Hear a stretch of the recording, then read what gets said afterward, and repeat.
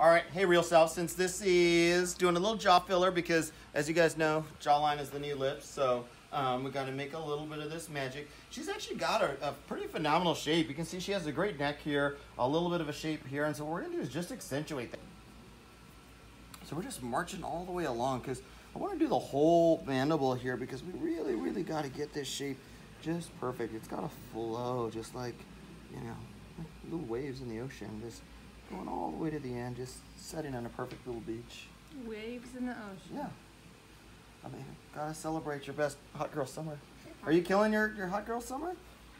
Yeah, totally am now.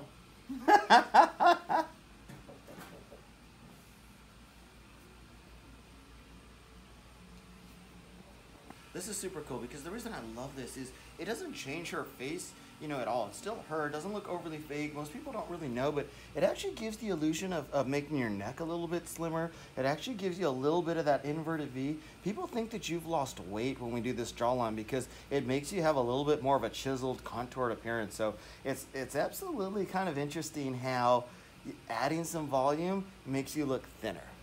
Yes. Boom, plastic surgery secrets.